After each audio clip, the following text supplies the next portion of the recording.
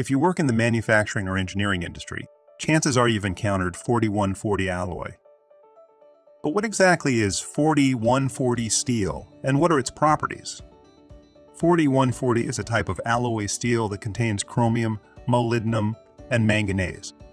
This combination of elements gives 4140 steel its high strength and toughness, making it a popular choice for a wide range of industrial applications. One of the most common uses for 4140 steel round bars is in the manufacturing of machine parts.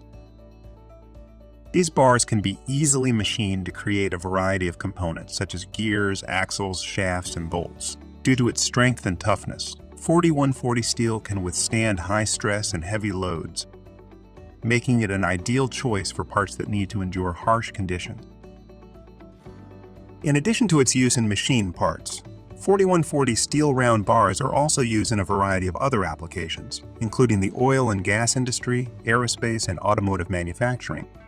In fact, many high-performance car engines use 4140 steel for their crankshafts and connecting rods. The strength and durability of 4140 steel help to ensure that these engines can operate at high speeds and under extreme conditions without failure.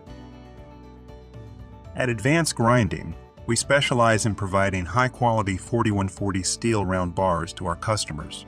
Our bars are available in a variety of sizes and lengths, and we can even provide custom cutting and machining services to meet your specific needs.